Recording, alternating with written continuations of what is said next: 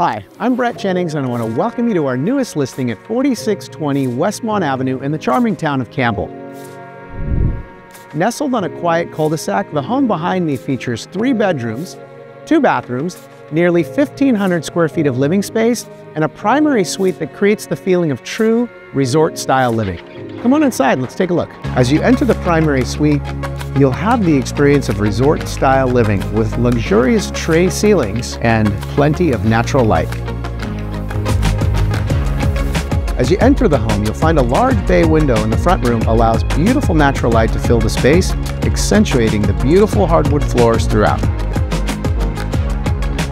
The kitchen features quartz counters, stainless steel appliances, offering both functionality and style.